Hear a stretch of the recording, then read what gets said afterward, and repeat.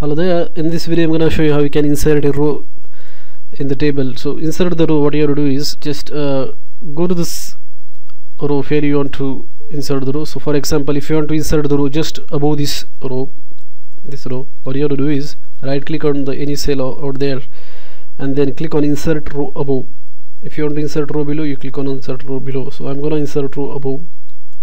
So as you can see uh, the row is inserted just above the cell. So this is how you can insert the cells uh, in Google table cells. I'm also showing how to insert row below. So as you can see another row is inserted just below that cell. If you like this video hit like button